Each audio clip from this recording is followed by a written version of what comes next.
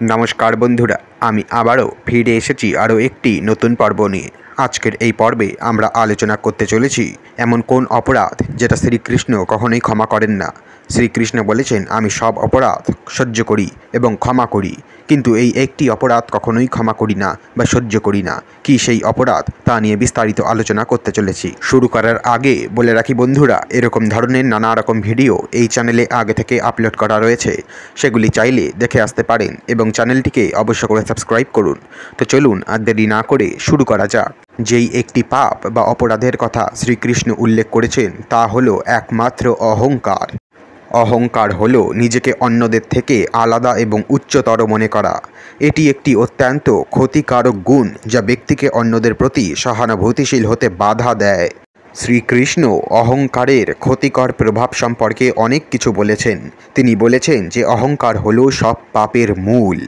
ভগবদ্গীতায় দ্বাদশ অধ্যায় শ্রীকৃষ্ণ অর্জুনকে বলেন, অহংকারই সব পাপের মূল। অহংকার থেকে ক্রোধ, লোভ এবং ভয় জন্ম নেয়। অহংকারের কারণে মানুষ অন্যায় কাজ করে। শ্রীকৃষ্ণ আরও বলেছেন যে অহংকার হলো একটি অন্ধকার শক্তি যা ব্যক্তিকে সত্য থেকে দূরে সরিয়ে দেয়। ভগবদ্গীতায় শ্রীকৃষ্ণ অর্জুনকে বলেন যে অহংকার হলো একটি অন্ধকার শক্তি যা ব্যক্তিকে সত্য থেকে দূরে সরিয়ে দেয়। অহংকারের কারণে মানুষ ভুল সিদ্ধান্ত নেয় এবং ভুল কাজ করে।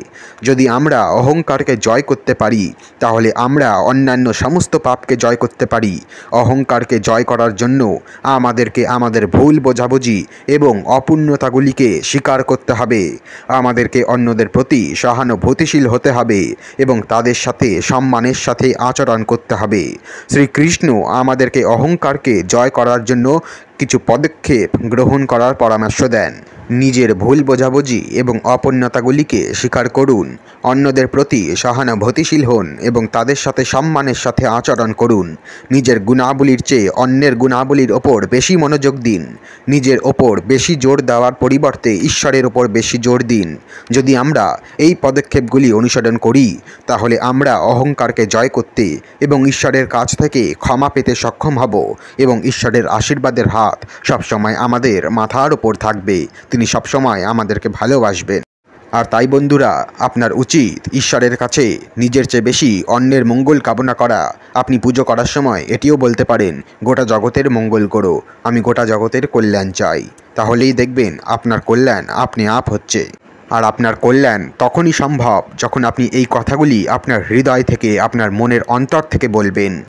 আজকের জন্য এ পর্যন্তই বন্ধুরা, দেখা হচ্ছে পরের ভিডিওতে। অবশ্য করে চ্যানেলটিকে সাবস্ক্রাইব করুন। ধন্যবাদ।